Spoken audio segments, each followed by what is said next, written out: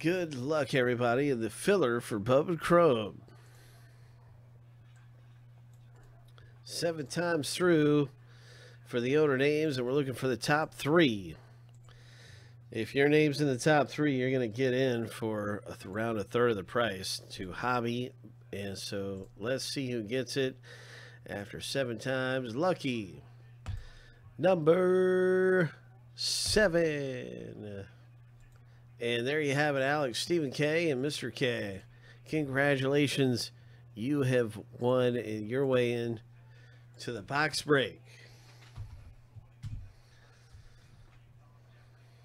You are in Bowman Chrome Hobby.